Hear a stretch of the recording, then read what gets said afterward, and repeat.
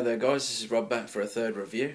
I'm really starting to get into this now and enjoy it and I've picked up a few subscribers so thanks very much to those guys that have hit subscribe and if there's any more of you please hit subscribe. So this is Fall of Cybertron Generations Shockwave and it's fantastic. I love this figure and I recommend you go and pick it up as soon as possible before they sell out and start going for stupid prices on eBay he is brilliant. The colours are fantastic. It's just everything I like about uh, Transformers, really. He's a lovely deep purple with this neon pink thing going on with the clear parts and other painted pink applications. He's got this lovely aircraft afterburner, sort of burnt steel or burnt aluminium look going on as well. Nice thrusters at the back. The alt mode looks pretty wicked, and you've got options here too yeah, put them back and you get a sort of sporty look to it I suppose. It looks really fast that way. Now um, another thing I found about this is that it's very G1-esque and even more so you can make him a sort of fan triple changer. If you pull those down you've got a little handle and you've got a shockwave gun which is cool bit iffy, I suppose, but it kind of works. I suppose if you want to, you could pull the fists out and make it a bit longer, if you really wanted to. Look a bit strange there. Yeah, there we go. More to grab onto. So, from that, that starts his transformation off.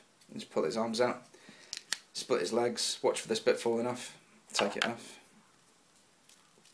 lift this up, free that, which is his gun and then that's nearly the legs done.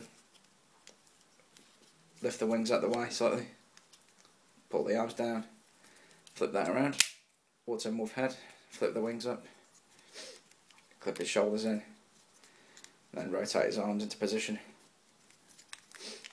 and then flip the hands out if you haven't already, like I have. And then flip the toes up, and the last bit, just rotate these panels down for the legs which sort of tab into place but only loosely. They do stay there but it's just a sort of groove to catch them in. And you have a fantastic robot mode. It's got lots of sculpted detail on. The colours again fantastic. It's so retro and 80s and that just appeals to me very much. It really reminds me of old 80s cartoons and 80s Transformers with this deep purple and the pinky thing going on. It looks wicked. The light piping is fantastic. The light's actually shining towards him at the moment and you can see it there is very effective. From where I'm looking it's really fired up and looks fantastic.